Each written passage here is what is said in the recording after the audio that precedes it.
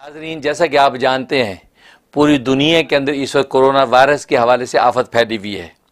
ہر چھوٹا بڑا اس کا شکار ہے اور آفتیں اس قدر ہیں، بیماریاں امراض کی وجہ سے پوری super power جو طاقتیں وہ بے بس نظر آتی ہیں، medical science بے بس نظر آتی ہے، science technology اس کے ہاتھ پیر پھول گئے ہیں۔ تو گویا کہ یہ ایسی آفت ہے کہ جو پوری کائنات کی انسانیت کو پریشان کر دیا ہے۔ ظاہر ہے کہ اس موقع پہ اللہ تبارک و تعالیٰ کی نصرت اور اللہ تبارک و تعالیٰ پر ایمان و یقین کام کرتا ہے۔ اور ظاہر ہے کہ نبی کریم صلی اللہ علیہ وسلم، نبی آخر زماں، آپ کے الفاظ قدسیہ، آپ کی احادیث طیبہ، آپ کی سنن اور آپ کی مستحبات جو ہے، وہ پوری انسانیت کے لیے ہدایت ہیں آپ جانتے ہیں کہ صحیح بخاری شریف سرکار دو عالم صلی اللہ علیہ وسلم کی احادیث کا وہ مجموعہ ہے جو کسی تعارف کا محتاج نہیں۔ اور اس کے مصنف امام بخاری رحم اللہ تعالیٰ کی شخصیت کسی تعارف کی محتاج نہیں، علم و فضل کا اللہ نے ان کو وہ مقام عطا کیا کہ امیر المومنین فی الحدیث کہلاتے ہیں۔ اور ان کی جو کتاب صحیح بخاری اصح الکتب بعد کتاب اللہ کا اعزاز حاصل کر بیٹھی ہے کہ قرآن کریم کے بعد روئے زمین پر اگر کوئی صحیح ترین کتاب ہے تو وہ صحیح بخاری ہے۔ صحیح بخاری کی اور جہاں کتنی کرامتیں ہیں، ان میں سے ایک کرامت یہ ہے کہ صحیح بخاری کی تلاوت جب کی جاتی ہے تو اللہ تبارک و تعالی دنیا سے آفتیں ہٹا دیتے ہیں، دنیا سے امراض اٹھا لیتے ہیں، دنیا سے طاعون چلا جاتا ہے، یہی وجہ ہے۔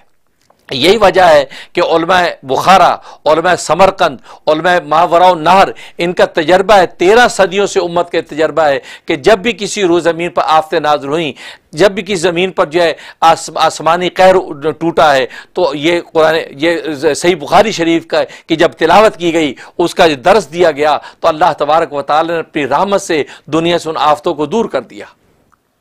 اور ایک عرصے سے میں اہل علم کو یہ درخواست کرتا رہا کہ صحیح بخاری شریف کی تلاوت کریں۔ یہ کرونا وائرس آیا ہے، لہٰذا صحیح بخاری شریف کی تلاوت مدارس کے اندر ہو، مکاتب میں ہو، مساجد میں ہو، اس کے نتیجے میں اللہ تبارک و تعالی جیسے تیرہ صدیوں سے یہ جو ہے وہ محدثین کا تجربہ ہے کہ یہ بیماریاں سب کے سب اٹھ جاتی ہیں۔ تو یقیناً آج کرونا وائرس کے حوالے سے جو آفت اتری ہے، تو اللہ تبارک و تعالی اس کو بھی اٹھا لیں گے۔ ظاہر ہے کہ لیکن اب تک اس کے اوپر کوئی خاطر خواہ جو ہے، کوئی ایسا جو ہے وہ نتیجہ سامنے نہیں آیا۔ تو میں نے خود پھر اس کا اہتمام کیا اور پاکستان کے اندر میں نے دو علماء کرام کی ذمہ داری لگائی اور وہ علماء کرام اس کی تلاوت کر رہے ہیں۔ چنانچہ ایک جو ہے حضرت مولانا مفتی صبغت اللہ عدن صاحب اور دوسرے حضرت مولانا قاری رضوان صاحب، یہ دونوں حضرات جو ہے یہ وہاں تلاوت کر رہے ہیں اور تقریباً جو ہے پانچ چھ سو صفحات تک بخاری شریف کی تلاوت ہو چکی ہے اور وہ جو ہے یہ اس کی جو ہے وہ تلاوت جو ہے رحم ٹی وی کے اوپر live جو ہے اس کو نشر کیا جائے گا۔ آپ حضرات سے درخواست ہے کہ جب رحم ٹی وی کے اوپر عنقریب چند دنوں کے اندر جب وہ live آنے لگے تو آپ اپنے گھروں کے اندر جو ہے اس کو live جو ہے audio لگا دیں۔ ویڈیو لگا دیں تاکہ اس کی گونج جو ہے بخاری شریف کے تلاوت کی پورے گھر بار کے اندر ہوگی۔ انشاءاللہ اللہ کی رحمت سے جو ہے وہ یہ کرونا وائرس تو کیا کسی قسم کی بھی آفتیں ہوں گی اس گھر سے، اس دھرتی سے، اس خطے سے اللہ تبارک و تعالی ان آفتوں کو اٹھا لیں گے۔ اس لیے آپ حضرات جو ہے بالکل منتظر رہیں۔ انشاءاللہ جو ہے وہ ہماری جو ہے وہ صحیح بخاری شریف کے حوالے سے وہ تلاوتیں مکمل ہو رہی ہیں۔ تبھی جو ہے انشاءاللہ وہ تلاوت جب ان کی شروع ہو تو آپ حضرات جو ہے ضرور اس کو خود سنیں بھی اور جو ہے وہ اس کو گھر کے اندر بلند آواز سے لگائیں بھی اور آگے بھی دوستوں کو share کریں جب پورے عالم کے اندر جگہ جگہ بخاری شریف کی تلاوت جو ہے آپ کے ٹیلی ویژن کے اوپر ہونے لگے گی، آپ کے فون کے اندر ہونے لگے گی، تو انشاءاللہ اللہ کی رحمت سے جو ہے وہ کرونا وائرس جی کی کوئی حقیقت نہیں ہے۔ اس طرح کے کتنے بھی وائرس ہیں، سب کے سب اللہ تبارک و تعالی روئے زمین سے مٹا دیں گے۔ آمین۔ یا رب العالمین۔ ہمارے دوسرے channel مفتی منیر احمد اخون Official کو subscribe کریں۔ مزید videos کا notification حاصل کرنے کے لیے bell icon کو press کریں۔ ویڈیوز کو لائک کریں شیئر کریں اور کمنٹ میں اپنی رائے کا اظہار کرنا مت بھولیں۔ شکریہ۔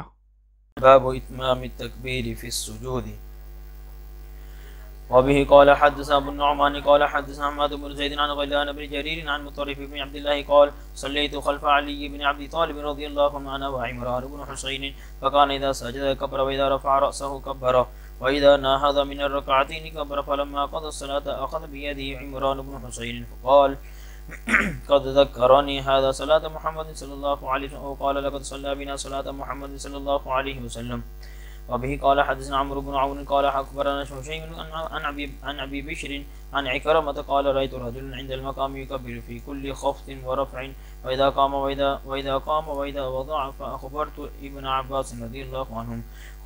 فقال أوليس تلك صلاة النبي صلى الله عليه وسلم؟ لا أم لك. باب التكبير إذا قام في السجود. وبه قال حدثنا موسى بن اسماعيل قال حدثنا حمام عن عقاء عن قتادة عن كرمة قال صليت خلف شيخ في مكة فكبر فكبر ثنتين وعشرين تكبيرة فقلت فقلت لابن عباس رضي الله عنهم أنه أحمق فقال ثكلتك أمك سنة أبي القاسم صلى الله عليه وسلم. وقال موسى وبه قال حدثنا بان قال حدثنا قتادة قال حدثني كرامة قال حدثني يحيى بن بكير قال حدثنا ليت عن بكير عن ابن شهاب قال أخبرنا أبو بكر بن عبد الرحمن بن عبد الرحمن بن الحارث أنه سمع أبا هريرة رضي الله عنهم يقول كان رسول الله صلى الله عليه وسلم إذا قام إلى الصلاة يكبر حين يقوم ثم يكبر حين يركع ثم يقول سمع الله لمن حمده. حين يرفع صلبه من الركعة ثم يقول وهو قائم ربنا لك الحمد ثم يكبر حين يهوي ثم يكبر حين يرفع رأسه ثم يكبر حين يسجد ثم يكبر حين يرفع رأسه ثم يقول ذلك في الصلاة كلها حتى يقضيها ويكبر حين يقوم من من من الثنتين بعد الجلوس. وقال عبد الله بن صالح عن الليث ولا ولك الحمد. باب وضع باب وضع الكف على على الركب في الركوع. وقال أبو حميد رضي الله عنهم في أصحابه أمكن النبي صلى الله عليه وسلم يديه من ركبتيه؟ وبه قال حدثنا ابو الوليد قال حدثنا شعبة عن أبي عفور قال سمعت مصعب بن سعد صليت إلى جنب إلى جنب أبي فطبقت بين كفي ثم وضعتها بين فخذي فنهاني بي وقال كنا نفعله فنهينا عنه وأمرنا أن نضع أيدينا ونضع أيدينا على الركب. باب إذا لم يتم الركوع. وبه قال حدثنا حفص بن عمر قال حدثنا شعبد قال عن سليمان عن قال قال سمعت زيد بن وهب قال قال رأى حذيفة رجلا لا يتم الركوع والسجود قال وقال ما صليت ولو ولو مت ولو مت مت على غير الفترة التي فطر الله محمد صلى الله عليه وسلم. باب استواء الظهر في الركوع. وقال أبو محمد وقال أبو حميد رضي الله عنه في أصحاب ركع النبي صلى الله عليه وسلم ثم حصر ظهره. باب حد إتمام الركوع والاعتدال فيه. ويطمئنينه نينته. وبه قال حدثنا بدل بن محبر قال حدثنا شعبة قال أخبرني الحكم الحكم عن ابن أبي ليلى عن البراء رضي الله عنه قال كان ركوع النبي صلى الله عليه وسلم وسجوده بين السجدتين وإذا رفع من ما خلى القيام والقعود قريبا من السواء. باب أمر النبي صلى الله عليه وسلم. الذي لا يتم ركوعه بالإعادة. وبه قال حدثنا مسدد قال حدثني يحيى بن سعيد عن عبيد الله قال حدثني سعيد سعيد المقبوري عن أبيه عن أبي هريرة رضي الله عنه أن النبي صلى الله عليه وسلم دخل المسجد فدخل رجل فصلى ثم جاء فسلم على النبي صلى الله عليه وسلم فرد عليه النبي صلى الله عليه وسلم السلام.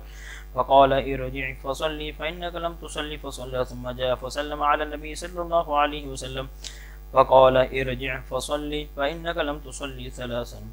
فقال والذي بعثك بالحق ما أحسن غيره فعلمني. فقال إذا قمت إلى الصلاة فكبر ثم قرأ ما تيسر معك من القرآن ثم اركع حتى تطمئن راكعا ثم ارفع حتى تعتدل قائما ثم اسجد حتى تطمئن ساجدا ثم ارفع حتى تطمئن جالسا ثم اسجد. ثم اسجد حتى تطمئن ساجدا ثم افعل ذلك في صلاتك كلها. باب الدعاء في الركوع.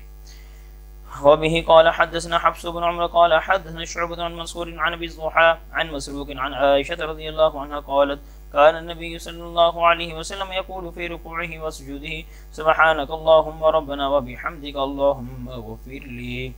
باب ما يقول الإمام ومن خلفه إذا رفع رأسه من الركوع. وبه قال حدثنا آدم قال حدثني ابن أبي ابن أبي ذئب عن سعيد المقبوري عن أبي هريرة رضي الله عنه قال كان النبي صلى الله عليه وسلم إذا قال سمع الله لمن حمده قال اللهم ربنا ولك الحمد. وكان النبي صلى الله عليه وسلم إذا ركع وإذا رفع رأسه يكبر وإذا قام من السجدتين قال الله أكبر. باب فضل اللهم ربنا ولك الحمد. وبه قال حدثنا عبد الله بن يوسف قال أخبرنا مالك عن سمي عن أبي صالح عن أبي هريرة رضي الله عنه عن أن رسول الله صلى الله عليه وسلم قال إذا قال الإمام سمع الله لمن حمد فقولوا ربنا لك الحمد فإنه من وافق قوله قول الملائكة غفر له ما تقدم من ذنبه. باب. وبه قال حدثنا معاذ بن فضالة عن هشام عن يحيى عن أبي سلمة عن أبي هريرة رضي الله عنه قال لأقربن صلاة النبي صلى الله عليه وسلم فكان أبو هريرة يقنط في الركعة الآخرة من صلاة الظهر وصلاة العشاء وصلاة الصبح بعد ما يقول سمع الله لمن حمده فيدعو للمؤمنين ويلعن, ويلعن الكفار. وبه قال حدث عبد الله بن عبد الله بن ابي الاسود قال حدث اسماعيل عن خالد الحزائي عن ابي قلابة عن انس رضي الله عنه قال، كان كان القنوت في الفجر والمغرب. وبه قال حدثنا عبد الله بن مسلمة عن مالك عن نعيم بن عبد الله عبد الله المجمري عن علي بن يحيى بن خلاد الزرقي عن أبيه عن رفاعة بن رافع الزرقي رضي الله عنه قال، كنا يوما تصلي وراء النبي صلى الله عليه وسلم. فلما رفع رأسه من الركعة قال سمع الله لمن حمده قال رجل وراءه ربنا ولك الحمد حمدا كثيرا طيبا مباركا فيه. فلما انصرف قال من, من قال من المتكلم؟ قال أنا. قال رأيت بضعة وثلاثين ملكا يبتدرونها أيهم يكتبها أول؟ باب باب باب الطمأنينة حين يرفع رأسه من الركوع. وقال أبو حميد رضي الله عنهم رفع النبي صلى الله عليه وسلم وصبا حتى يعود كل كل فقار مكانه. وبه قال حدثنا أبو الوليد قال حدثنا شعبة عن ثابت قال قال كان أنس رضي الله ينعت لنا صلاة النبي صلى الله عليه وسلم فكان يسلم إذا رفع رأسه من الركوع قام قام حتى نقول قد نسي به. قال حدثنا أبو الوليد قال حدثنا شعبة بن الحكم عن ابن أبي ليلى عن البراء رضي الله عنه قال كان ركوع النبي صلى الله عليه وسلم وسجوده وإذا رفع رأسه من الركوع وبين السجدتين وقريبا من السواء وبه. قال حدثنا سليمان بن حرب قال حدثنا حماد بن زيد عن أيوب عن أبي قلابة قال كان مالك بن الحويرث يرينا كيف كيف كان صلاة النبي صلى الله عليه وسلم وذاك في غير وقت صلاة. فقام فقام فأمكن القيام ثم ركع فأمكن الركوع ثم رفع رأسه فانصب فانصب هنية. قال فصلى بنا صلاة شيخنا هذا أبي يزيد وكان أبو يزيد إذا رفع رأسه من السجدة الآخرة استوى قاعدا ثم نهض. باب يهوي بالتكبير حين يسجد. وقال نافع كان ابن عمر رضي الله عنه يضع يديه قبل ركبتيه. وبه قال حدث عن اليمان قال أخبرنا شعيب عن الزهري قال أخبرنا أبو بكر بن عبد الرحمن بن الحارث بن هشام وأبو سلمة وأبو سلمة بن عبد الرحمن أن أبا هريرة رضي الله عنهم كان يكبر في كل صلاة من المكتوبة وغيرها في رمضان وغيره. فيكبر حين يقوم ثم يكبر حين يركع ثم يقول سمع الله لمن حمده ثم يقول ربنا لك ربنا ولك الحمد قبل أن يسجد ثم يقول الله أكبر حين يهوي ساجدا ثم يكبر حين يرفع رأسه من السجود ثم يكبر حين يسجد ثم يكبر حين يرفع رأسه من السجود ثم يكبر حين يقوم من الجلوس من من الاثنتين. ويفعل ذلك في ويفعل ذلك في كل ركعة حتى يفرغ من الصلاة ثم يقول حين ينصرف. والذي نفسي بيده إني إني لأقرب إني لأقربكم شبها بصلاة رسول الله صلى الله عليه وسلم. إن كانت هذه لصلاته حتى فارق الدنيا. قال وقال أبو هريرة رضي الله عنه وكان رسول الله صلى الله عليه وسلم حين يرفع رأسه يقول سمع الله لمن حمد ربنا ولك الحمد يدعو لرجال فيسميهم بأسمائهم فيقول اللهم أنجل الوليد بن اللهم أنجل الوليد بن الوليد وسلمة بن هشام وعياش بن أبي ربيعة والمستضعفين من المؤمنين اللهم اشدد وطأتك على مضر واجعلها واجعلها عليهم سنين كسني يوسف. فأهل المشرك يومئذ من مخالفون له. وبه قال حدثنا علي بن عبد الله قال حدثنا سفيان عن غير مرة عن الزهري قال سمعت أنس بن مالك رضي الله عنهم يقول سقط رسول الله صلى الله عليه وسلم عن فرس وربما قال سفيان من فرس فجوحش شقه الأيمن فدخلنا عليه نعوده فحضرت الصلاة. فصلى بنا قاعد وقعدنا وقال سفيان مرة صلينا قعود فلما قضى الصلاة قال إنما جعل الإمام ليتم به فإذا كبر فكبر وإذا رفع وإذا ركع فركع وإذا رفع فرفع وإذا قال سمع الله لمن حمده. وقولوا ربنا ولك الحمد وإذا سجد فاسجدوا. كذا جاء به معمر قلت نعم. قال، لقد حفظ كذا قال الزهري، ولك الحمد. حفظت من شقه الأيمن، فلما خرجنا من عند الزهري، قال ابن جريد وأنا عنده فجوحش ساقه الأيمن. باب فضل السجود. وبه قال، حدثنا ابو اليمان. قال اخبرنا شعيب عن الزهري. قال اخبرني سعيد بن المسيب وعطاء بن يزيد يزيد الليثي. أن أبا هريرة رضي الله عنهم أخبرهما أن الناس قالوا يا رسول الله هل نرى ربنا يوم القيامة؟ قال هل هل تمارون في في القمر ليلة البدر ليس ليس دونها سحاب؟ قالوا يا قالوا لا يا رسول الله. قال فهل تمارون في شمس ليس دونها سحاب؟ قالوا لا. قال فإنكم ترونه كذلك يحشر الناس يوم القيامة فيقول من كان يعبد شيئا فليتبعه ومنهم من يتبع الشمس ومنهم من يتبع القمر ومنهم من يتبع الطواغيت وتبقى هذه الأمة وهذه الأمة فيها منافقوها فيأتيهم الله فيقول أنا ربكم فيقولون فيقولون هذا مكاننا حتى يأتينا ربنا. فإذا جاء ربنا عرفناه فيأتيهم الله عز وجل فيقول أنا ربكم فيقولون أنت ربنا فيدعوهم ويضرب الصراط ويضرب الصراط بين ظهراني جهنم فأكون فأكون أول من يجوز من الرسل بأمته ولا يتكلم يومئذ أحد إلا الرسل وكلام الرسل يومئذ اللهم سلم اللهم سلم. وفي جهنم كلاليب مثل شوك السعدان.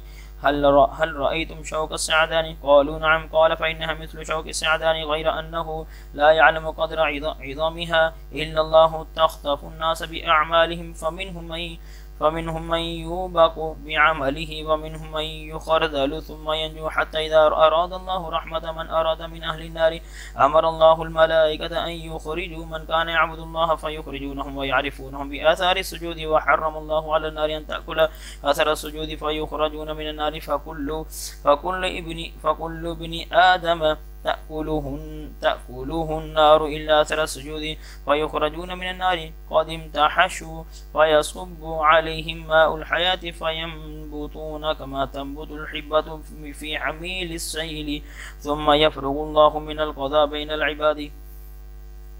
ويبقى رجل بين الجنة والنار وهو, وهو آخر أهل النار دخول الجنة مقبلا بوجهه قبل النار فيقول يا ربي اصرف وجهي عن النار قد قبشني ريحها وأحرقني ذكاؤها فيقول هل عسيت؟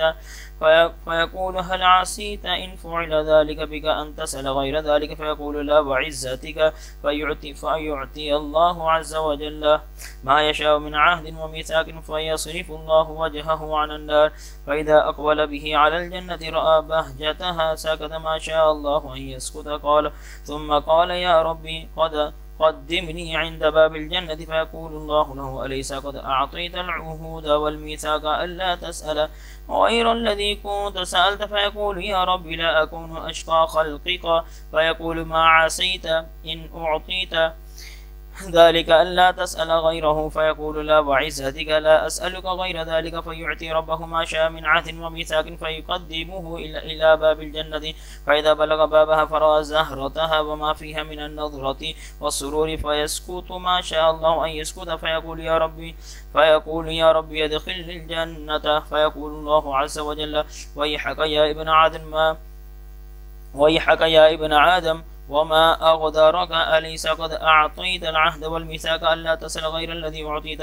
فيقول يا رب لا تجعلني أشقى خلقك فيضحك الله منهم ثم يأذن ثم يأذن له في دخول الجنة. فيقول تمنى فيقول تمنى فيتمنى حتى إذا انقطع أمنيته. قال الله عز وجل زد من كذا وكذا أقبله. زد من كذا وكذا أقبل يذكره ربه حتى إذا انتهت به الأماني. قال الله لك ذلك ومثله معه. وقال أبو سعيد الخدري رضي الله عنه لأبي هريرة رضي الله عنه إن رسول الله صلى الله عليه وسلم قال قال الله عز وجل لك ذلك وعشرة أمثاله. قال أبو هريرة رضي الله عنه لم أحفظه من رسول الله صلى الله عليه وسلم إلا قوله لك ذلك ومثله معه. قال أبو سعيد رضي الله عنه إني سمعته يقول ذلك لك وعشر وعشرة أمثاله. باب يبدي ضبعيه ويجافي ويجافي في السجود. وبه قال حدثنا يحيى بن بكير قال حدثني بكر بن مضر عن جعفر بن ربيعة عن عن ابن هرمز عن عبد الله بن مالك بن بوحينة أن النبي صلى الله عليه وسلم كان إذا صلى فرج بين يديه حتى يبدو حتى يبدو بياض إبطيه وقال الليث وبه قال حدثني جعفر بن ربيعة نحوه باب يستقبل بأطراف رجليه القبلة. قال له أبو حميد رضي الله عنه عن النبي صلى الله عليه وسلم. باب إذا لم يتم يتم سجوده وبه قال حدثنا السلط بن محمد قال حدثنا مهدي عن واصل عن أبي وائل عن حذيفة رضي الله عنهم أن رأى رجلا لا يتم ركوعه ولا سجوده فلما قضى صلاته قال له حذيفة ما صليت واحسبه قال لو مت مت على غير سنة محمد صلى الله عليه وسلم. باب السجود على سبعة أعظم. وبه قال حدثنا قبيصة قال حدثنا سفيان عن عمرو بن دينار عن طاووس عن ابن عباس رضي الله عنهم قال أمر النبي صلى الله عليه وسلم أن يسجد على سبعة أعضاء ولا يكف شعرا ولا ثوبا الجبهة واليدين والركبتين والرجلين. وبه قال حدثنا مسلم بن إبراهيم قال حدثنا شعبة عن عمرو عن طاووس عن النبي صلى الله عليه وسلم عن ابن عباس رضي الله عنه عن النبي صلى الله عليه وسلم قال أمرنا أن نسجد على سبعة أعظم ولا نكف شعر ولا ثوبا. وبه قال حدثنا آدم قال حدثني سعيد عن أبي إسحاق عن عبد الله بن يزيد قال حدثنا البراء بن عازب رضي الله عنه وهو غير كذوب قال كنا نصلي خلف النبي صلى الله عليه وسلم فإذا قال سمع الله لمن حمده لم يحن أحد منا ظهره حتى يدع النبي يدع النبي صلى الله عليه وسلم جبهته على الأرض. باب السجود على الأنف. وبه قال حدثنا معل بن واسد قال حدثنا بهيب عن عبد الله بن طاووس عن ابي بن عباس رضي الله عنهم قال قال النبي صلى الله عليه وسلم أمرت ان أمرت أن أسجد على سبعة أعظم على الجبهة وأشار بيده على انفي واليدين والركبتين وأطراف القدمين ولا نك ولا نكفت ولا نكفت الثياب والشعر. باب السجود على الأنف وفي التين وبه قال حدثنا موسى قال حدثنا همام قال حد قال عن يحيى نبي سلمة قال انطلقت إلى أبي سعيد سعيد الخدري رضي الله عنه فقلت ألا فقلت ألا تخرج بنا إلى النخل نتحدث. فخرج. قال قلت وبه قال حدثني ما سمعت النبي صلى الله عليه وسلم في ليلة القدر. قال اعتكف رسول الله صلى الله عليه وسلم العشر الأول من رمضان واعتكفنا معه فأتاه جبرائيل فقال إن الذي تطلب أمامك فاعتكف العشر الأوسط واعتكفنا معه فأتاه جبرائيل فقال إن الذي تطلب أمامك فقام النبي صلى الله عليه وسلم خطيبا صبيحة عشرين من رمضان فقال من كان اعتكف مع النبي صلى الله عليه وسلم فليرجع فإني أريد ليلة القدر. وإني نسيتها وإنها في العشر الأواخر في وتر وإني رأيت كأني أسد في طين وماء وكان وكان سقف المسجد جريد النخل وما نرى في السماء شيء فجاءت قزعة فأمطرنا فصلى بنا النبي صلى الله عليه وسلم حتى رأيت أثر الطين والماء على جبهة رسول الله صلى الله عليه وسلم وأرنبته تصديق رؤيا رؤياه. باب عقد الثياب وشدها. ومن ضم إليه ثوبه إذا خاف أن تنكشف عورته. وبه قال حدثنا محمد بن كثير قال أخبرنا سفيان عن أبي حازم عن سهل بن سعد رضي الله عنهم قال كان الناس يصلون مع النبي صلى الله عليه وسلم وهم عاكدوا أزورهم من الصغر على رقابهم فقيل للنساء فقيل للنساء لا تع لا ترفعن رؤوسكن حتى يستبي الرجال جلوسا. باب لا يكف شعرا وبه قال حدثنا أبو النعمان قال حدثنا حماد بن زين عن عمرو بن عن طاووس عن ابن عباس رضي الله عنه قال أمر النبي صلى الله عليه وسلم أن يشهد على سبعة أعظم ولا يكف شعره ولا ثوبه. باب لا يكف ثوبه في الصلاة. وبه قال حدثنا موسى بن إسماعيل قال حدثنا أبو عوانة عن أمر عن طاووس عن, ابن عباس رضي الله عنه عن النبي صلى الله عليه وسلم قال أمرت أن أسجد على سبعة أعظم على لا أكف شعرا ولا ثوبا. باب التسبيح والدعاء في السجود. وبه قال حدثنا مسدد قال حدثنا يحيى عن سفيان قال حدثني منصور عن مسلم عن مسروق عن عائشة رضي الله عنها قالت كان النبي صلى الله عليه وسلم يكثر أن يقول في ركوعه وسجوده سبحانك اللهم ربنا وبحمدك اللهم اغفر لي يتأول القرآن باب المكث بين السجدتين. وبه قال حدثنا أبو النعمان قال حدثنا حماد عن أيوب عن أبي قلابة أن مالك بن الحويرث رضي الله عنه قال لأصحابه ألا أنبئكم صلاة رسول الله صلى الله عليه وسلم؟ قال وذاك في غير حين حين صلاة فقام ثم ركع فكبر ثم رفع رأسه فقام هنية ثم سجد ثم رفع رأسه هنية ثم سجد ثم رفع رأسه هنية فصلى صلاة عمرو بن سلمة شيخنا هذا قال أيوب كان يفعل شيء لم أرهم يفعلونه. كان يقعد في الثالثة من الرابعة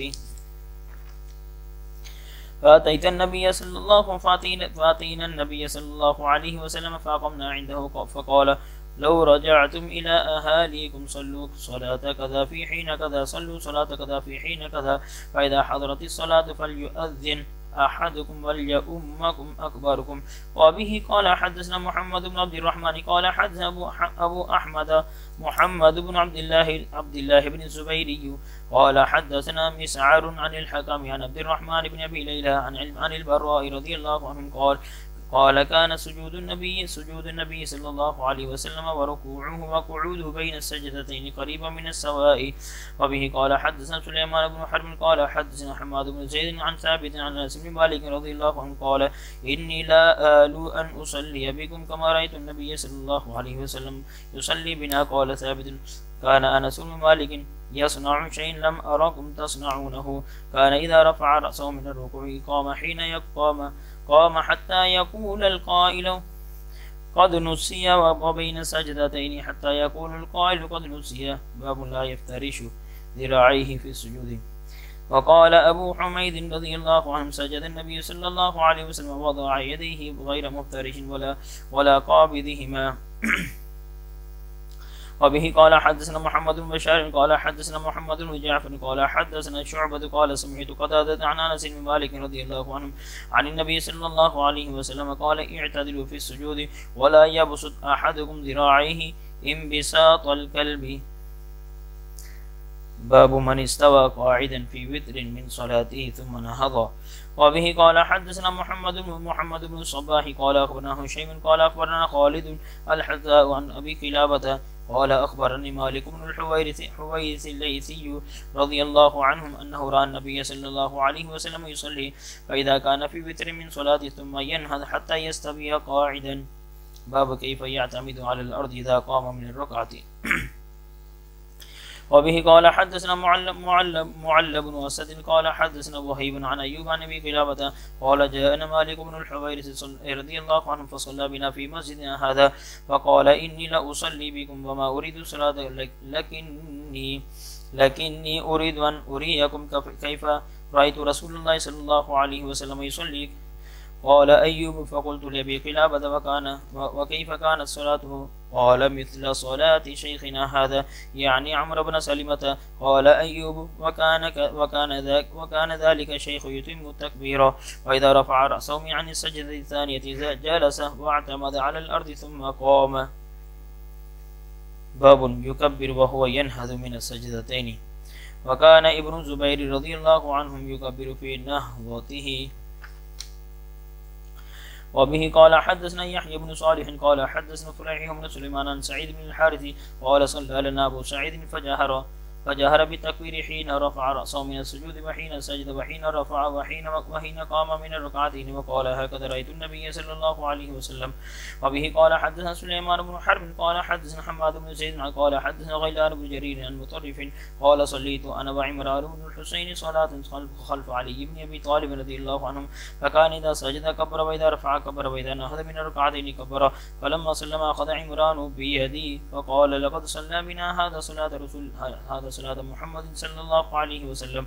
أو قال لقد ذكرني هذا صلاة محمد صلى الله عليه وسلم. باب سنة الجلوس في, في التشهد. وكانت أم الدرداء رضي الله عنها تجلس في صلاتها جلسة الرجل وكانت فقيهة. وبه قال حدثنا عبد الله بن مسلمة عن مالك عن عبد الرحمن بن القاسم عن عبد الله بن عبد الله بن عبد الله أنه أخبره أنه كان يرى عبد الله بن عمر رضي الله عنه يتربع في الصلاة إذا جلس ففعلته وأنا يومئذ حديث السن. فنهاني عبد الله بن عمر وقال إنما وقال إنما سنة الصلاة أن تنصب رجلك اليمنى وثن والتثنية اليسرى. فقلت إنك تفعل ذلك. فقال إن رجلاي لا تحملان. وبه قال حدثنا يحيى بن بكير. قال حدثنا ليث عن خالد عن سعيد عن محمد بن عمرو بن حلحلة عن محمد بن عمرو بن عطاء. قال وبه قال حدثني ليث عن يزيد بن أبي حبيب ويزيد بن محمد صلى الله محمد عن محمد بن عمرو بن حلحلة عن محمد بن عمرو بن عطاء أنه كان جالسا مع نفر من أصحاب النبي صلى الله عليه وسلم. فذكرنا صلاة النبي صلى الله عليه وسلم فقال أبو حميد حميد الساعدي رضي الله عنه أن أنا كنت أحفظكم لصلاة رسول الله صلى الله عليه وسلم. رأيته إذا كبر جعل يديه حذو منكبيه وإذا ركع أمكن يديه من ركبتيه ثم حص ثم حصر ظهره وإذا رفع رأسه استوى حتى يعود كل فقار مكانه وإذا سجد وضع يديه غير مفترش ولا قابضهما واستقبل بأطراف أصابع رجليه القبلة. فإذا فإذا جلس من الركعتين جلس على رجله اليسرى ونصب اليمنى. فإذا جلس من الركعة الآخرة قدم رجله اليسرى ونصب الأخرى وقعد على مقعد مقعدته. وسمع ليس يزيد بن أبي حبيب ويزيد بن ويزيد بن محمد بن حلحلة وابن حلحلة من من ابن عطاء. وقال أبو صالح عن عن الليثي عن الليثي كل فقار مكانه وكان ابن وكان ابن المبارك عن يحيى بن أيوب قال حدثني يزيد بن أبي حبيب أن محمد بن عمرو بن حلحلة حدثه كل فقار. باب من لم يرى التشهد الأول واجبا. لأن النبي صلى الله عليه وسلم قام من الركعتين ولم يرجع. وبه قال حدثنا ابو اليمان قال اخبرنا شعيب عن الزهري قال حدثنا عبد الرحمن بن هرمز مولى بني مولى بني عبد المطلب وقال مرة مولى ربيعة بن الحارث ان عبد الله بن بحينة قال وهو من أزد الشنوءة وهو حليف لبني عبد مناف وكان من أصحاب النبي صلى الله عليه وسلم. إن النبي صلى الله عليه وسلم صلى بهم الظهر فقام من الركعتين الأولين لم يجلس فقام فقام فقام فقام, فقام الناس معه.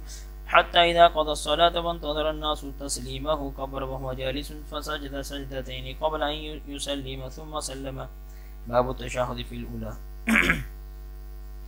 وبه قال حدثنا قتيبة قال حدثنا بكر عن جعفر بن ربيعة عن الأعرج عن عبد الله بن مالك بن بحينة رضي الله عنه قال صلى بنا رسول الله صلى الله عليه وسلم الظهر فقام وعليه جلوس فلما كان في آخر صلاة سجد سجدتين وهو جالس. باب التشهد في الآخرة. وبه قال حدثنا ابن نعيم قال حدثنا الأعمش عن شقيق بن مسلمة عن شقيق بن سلمة قال قال عبد الله رضي الله عنه كنا إذا صلينا خلف النبي صلى الله عليه وسلم فقلنا السلام على جبريل, جبريل وميكائيل السلام على فلان وفلان فالتفت إلينا رسول الله صلى الله عليه وسلم فقال إن الله هو السلام فإذا صلى أحدكم فليقل التحيات لله والصلوات والطيبات والسلام عليك أيها النبي ورحمة الله وبركاته. السلام علينا وعلى عباد الله الصالحين. فإنكم إذا قل فإنكم إذا قلتموها أصابت كل عبد, عبد لله صالح في السماء والأرض. أشهد أن لا إله إلا الله وأشهد أن محمدا عبده ورسوله. باب الدعاء قبل السلام. وبه قال حدثنا ابو اليمان قال أخبرنا شعيب عن الزهري قال أخبرنا عروة بن الزبير عن عائشة رضي الله عنها زوج النبي صلى الله عليه وسلم أخبرته أن رسول الله صلى الله عليه وسلم كان يدعو في الصلاة اللهم إني أعوذ بك من عذاب القبر وأعوذ بك من من فتنة المسيح الدجال وأعوذ بك من فتنة المحيا وفتنة الممات اللهم إني أعوذ بك من المأثم والمغرم فقال له قائل ما أكثر من تستعيذ من المغرم فقال إن الرجل إذا إذا غرم حدث فكذب وإذا بعد فأخلف. وقال محمد بن يوسف سمعت خلف ابن عامر يقول في المسيح والمسيح ليس بينهما فرق وهما واحد أحدهما عيسى عليه الصلاة والسلام والآخر الدجال.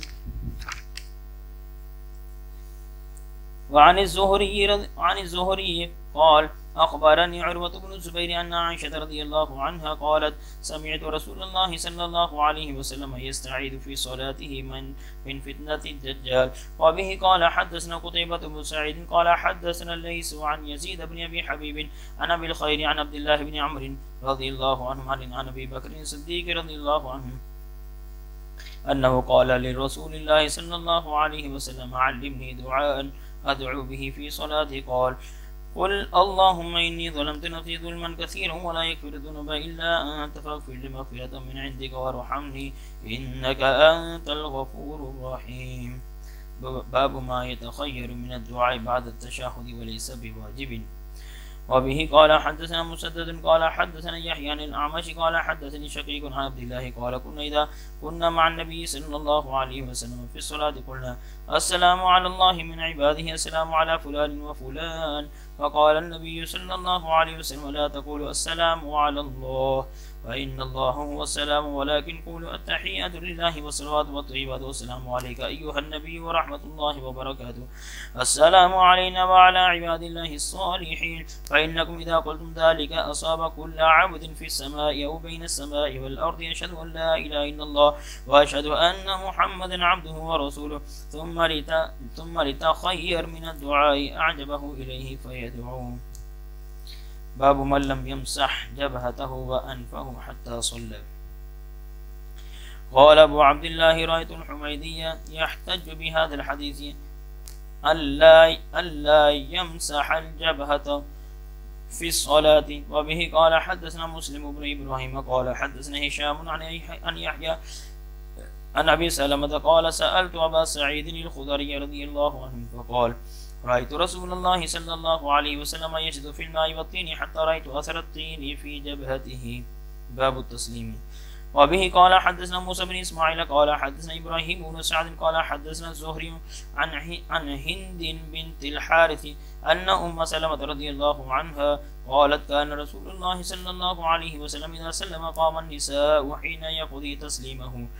ومكث يسيرا ومكث يسيرا قبل أن يقوم. قال ابن شهاب فأرى والله أعلم أن مكثه لكي ينفذ النساء قبل أن يدركهن من انصرف من القوم. باب يسلم حين يسلم الإمام. وكان ابن عمر رضي الله عنهم يستحب إذا سلم الإمام أن يسلم من خلفه.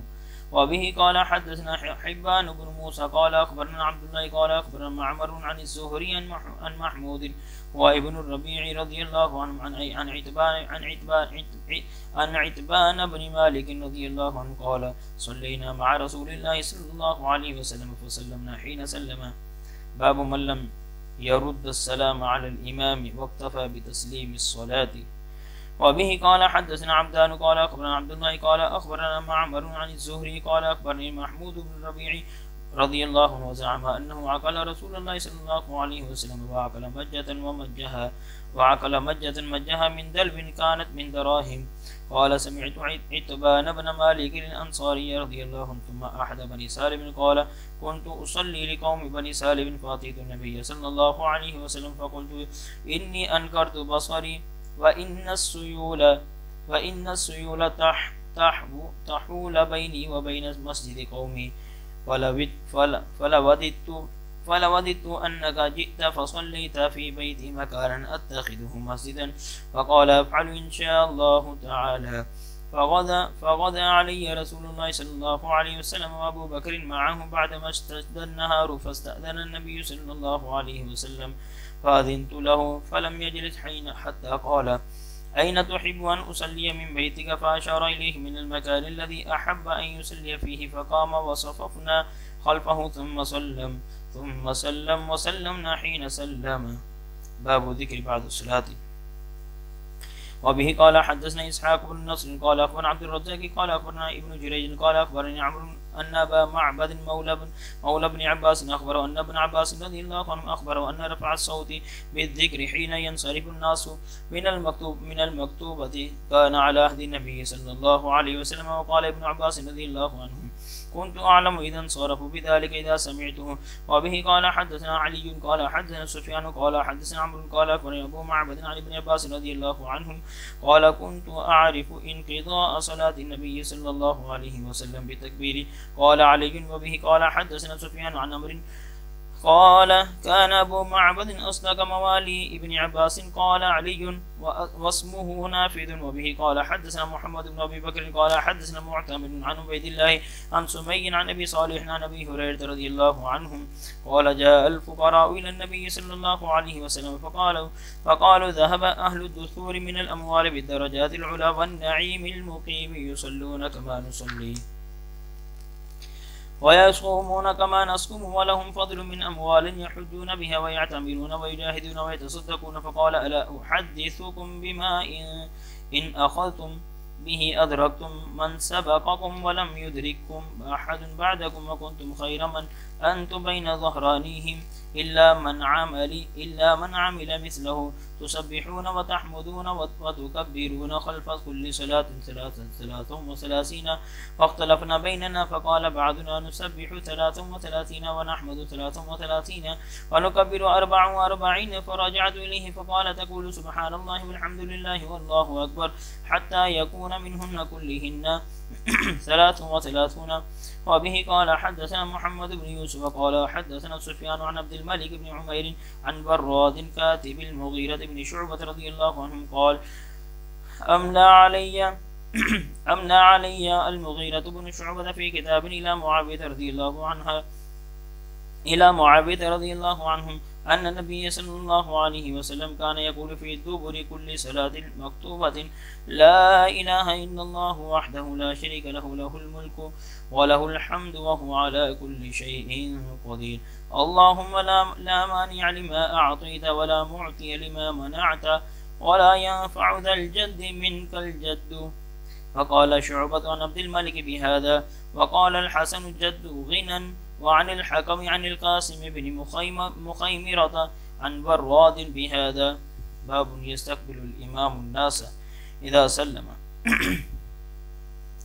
وبه قال حدثنا موسى بن إسماعيل قال حدثنا جرير بن حازم قال حدثنا أبو رجاء عن سمرة بن جندب رضي الله عنه قال كان النبي صلى الله عليه وسلم إذا صلى صلاة أقبل علينا بوجهه وبه قال حدثنا عبد الله بن مسلمة مالك عن صالح بن كيسان عن عبيد الله بن عبد الله بن عتبة بن مسعود عن زيد بن خالد الجهني رضي الله عنه أنه قال صلى لنا رسول الله صلى الله عليه وسلم صلاة الصبح بالهديبية على على أثر سماء كانت من الليل فلما انصرف أقبل على الناس فقال هل تدرون ماذا قال ربكم عز وجل؟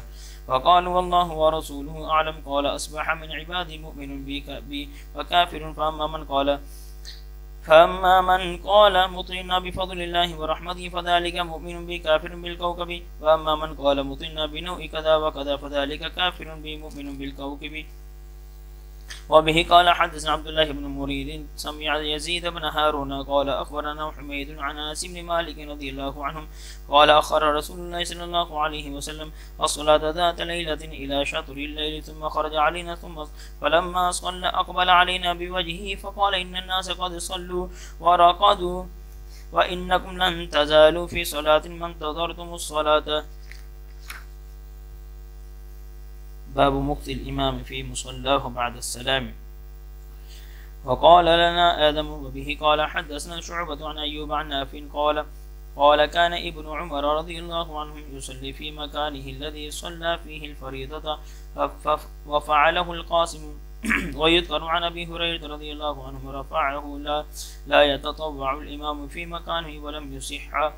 وبه قال حدثنا أبو الوليد هشام بن عبد الملك قال حدثنا إبراهيم بن سعد قال حدثنا الزهري عن هند بنت الحارث عن أم سلمة رضي الله عنها أن النبي صلى الله عليه وسلم كان إذا سلم يمكث في مكانه يسيرا قال ابن شهاب فنرى والله أعلم لكي ينفض من ينصرف من النساء. وقال ابن مريم قال أخبرنا نافع بن يزيد قال حدثني جعفر بن ربيعة أن ابن شهاب كتب إليه قال حدثتني هند بنت بنت الحارث بنت الحارث الف الفراسية عن أم سلمة رضي الله عنها زوج النبي صلى الله عليه وسلم وكانت من صواحب من صواحباتها وقالت كان يسلم فينصرف النساء فيدخلن بيوتهن من قبل أن ينصرف رسول الله صلى الله عليه وسلم. وقال ابن وهب عن يونس عن ابن شهاب وأخبرتني هند الفراسية وقال عثمان بن عمر أخبرنا يونس عن الزهري قال حدث حدثتني هند القرشية وقال الزبيدي قال أخبرني الزهري أن هند بنت الحارث القرشية أخبرته وكانت تحت معبد معبد بن المقداد وهو حليف بني زهرة وكانت تدخل على أزواج النبي صلى الله عليه وسلم. وقال شعيب عن الزهري وبه قال حدثتني هند القرشية. وقال ابن أبي عتيق عن الزهري عن هند الف عن هند الف فراسية. وقال الليث وبه قال حدثني يحيى بن سعيد. وقال حدثنا ابن شهاب عن عن, عن امرأة من قريش. وبه قال حدثته عن النبي صلى الله عليه وسلم. باب من صلى بالناس فذكر حاجته فتخطاهم. وبه قال حدثنا محمد بن عبيد قال حدثنا عيسى بن يونس عن عمر عن عمر بن سعيد قال اخبرني ابن ابي مليكة عن عقبة رضي الله عنه قال صليت وراء النبي صلى الله عليه وسلم بالمدينة العصر فسلم فقام مسرعا فتخطى رقاب الناس إلى بعض إلى بعض حجر نسائه ففزع الناس من سرعته فخرج عليهم. فرأى أنهم قد عجبوا من سرعته فقال ذكرت شيئا من تبر عندنا فكرهت أن يحس أن, يحب أن يحبسني فأمرت بقسمته. باب الانفتال والانصراف عن اليمين والشمال. وكان أنس بن مالك رضي الله عنه ينفتل عن يمينه وعن يساره ويعيب على من يتوخى أو من تعمد الانفتال عن يمينه. وبه قال حدثنا أبو الوليد قال حدثنا شعبة بن سليمان عن عمارة بن عن عمارة بن عمير عن الأسود قال قال عبد الله رضي الله عنهم لا يجعل أحدكم للشيطان شيء من صلاته. يرى أن حقا عليه ألا ينصرف إلا عن يمينه. لقد رأيت النبي صلى الله عليه وسلم كثيرا ينصرف عن يساره. باب ما جاء في الثوم في الثوم في الثوم الني والبصل والكراث. وقول النبي صلى الله عليه وسلم من أكل الثوم أو البصل من الجوع أو غيره فلا يقربن مسجد مسجدنا وبه قال حدثنا عبد الله بن محمد قال حدثنا أبو عاصم قال أخبرنا ابن جريج قال أخبرني عطاء قال سمعت جابر بن عبد الله رضي الله عنه قال قال النبي صلى الله عليه وسلم من أكل من هذه الشجرة يريد الثوم فلا يغشان في مسجدنا. قلت ما يعني به؟ قال ما أراه يعني إلا نيته نية. وقال مخلد بن يزيد عن ابن جريج إلا نتنه. وبه قال حدثنا مسدد قال حدثنا يحيى عن عبيد الله قال حدثني نافع عن ابن عمر رضي الله عنه أن النبي أن النبي صلى الله عليه وسلم قال في غزوة خيبر من أكل من هذه الشجرة يعني الثوم فلا يقربن مسجدنا. وبه قال حدثنا سعيد بن عفير قال حدثنا ابن وهب عن يونس عن ابن شهاب قال زعم عطاء أن جابر بن عبد الله رضي الله عنه زعم أن النبي صلى الله عليه وسلم قال من أكل ثوما أو بصلا فليعتزل أو فليعتزل مسجدنا وليقعد في بيته. وأن النبي صلى الله عليه وسلم أتي بقدر فيه فيه خضرات من بقول. فوجد لها ريحا فسأل فأخبر بما فيها من البقول. فقال قربوها إلى بعض أصحابه كان معه فلما راه فلما راه كره أكلها. فلما راه كره أكلها فقال كل فإني أناجي من لا تناجي. وقال أحمد بن صالح عن ابن وهب أتي ببدر.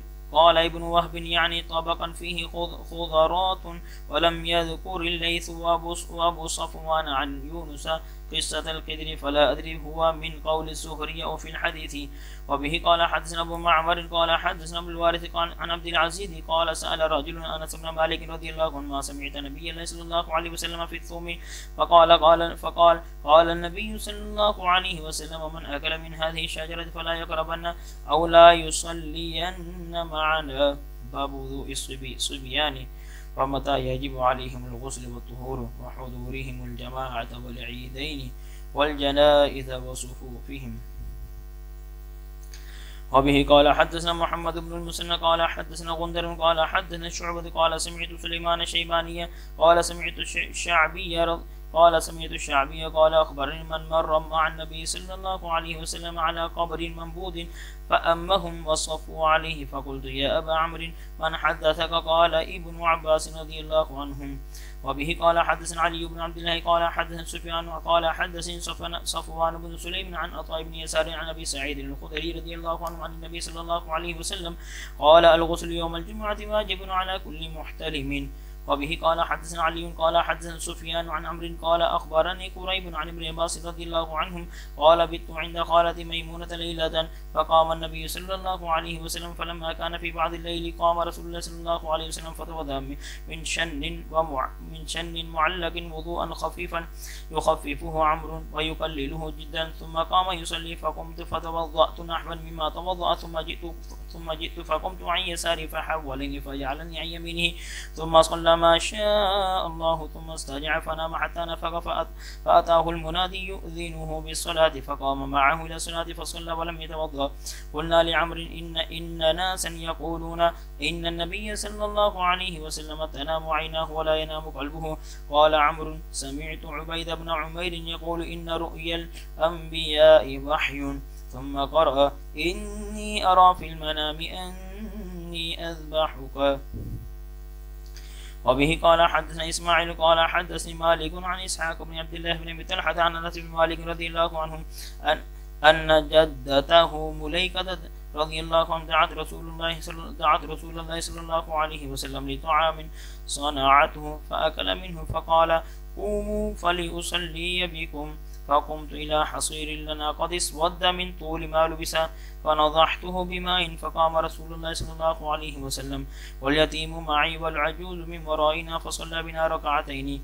وبه قال حدثنا عبد الله بن مسلمة عن مالك عن ابن شهاب عن عبيد الله بن عبد الله بن عتبة عن ابن عباس رضي الله عنهم أنه قال أقبلت راكبا على حمار أتان وأنا يومئذ قد ناهزت الاحتلام ورسول الله صلى الله عليه وسلم.